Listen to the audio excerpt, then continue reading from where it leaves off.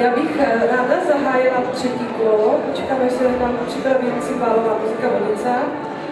Eh, jenom bych připomněla, že odborná porota teďka bude mít volno, co se říká, eh, týká hlasování a bodování, ale vy diváci můžete hlasovat i v této skupině v třetím kole.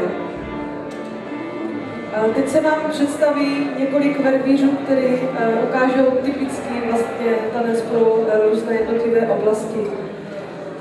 Za tu první oblast podluží přijde 13-letý chlapec, který hraje na cymbál, jedenkrát vyhrál soutěž v Hradišti, dvakrát byl na druhém místě a přichází s písničkou Páslo dívča Báva a jmenuje se René Zříval.